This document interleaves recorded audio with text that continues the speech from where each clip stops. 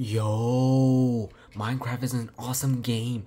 I've been playing it since 2010. Yes, when the game came out. And guess what? You see the spider here, guys? Yeah, this spider I brought from 2013 from a Walmart store, okay? This spider is literally 10 years old and I still have him. You know why? Because Minecraft's awesome, so yeah.